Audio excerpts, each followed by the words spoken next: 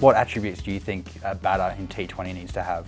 I think it's different for every individual. It's a difficult question to answer because I, I, can't speak on behalf of other players. To me, it's really important to be able to switch between gears. Once I get into a bit of a run, it's, I sort of lose track of where the game's at sometimes and I just want to keep going. So it's a little bit complicated, but to me, when I play my best cricket, is when I'm in such form where I can really just shift gears to get us across the line.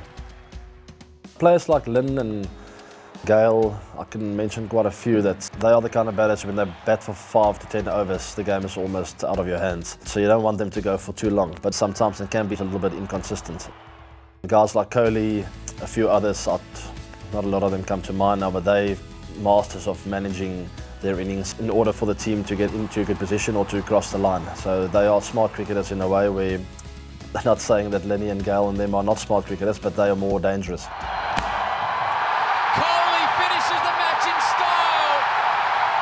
The King gets it done.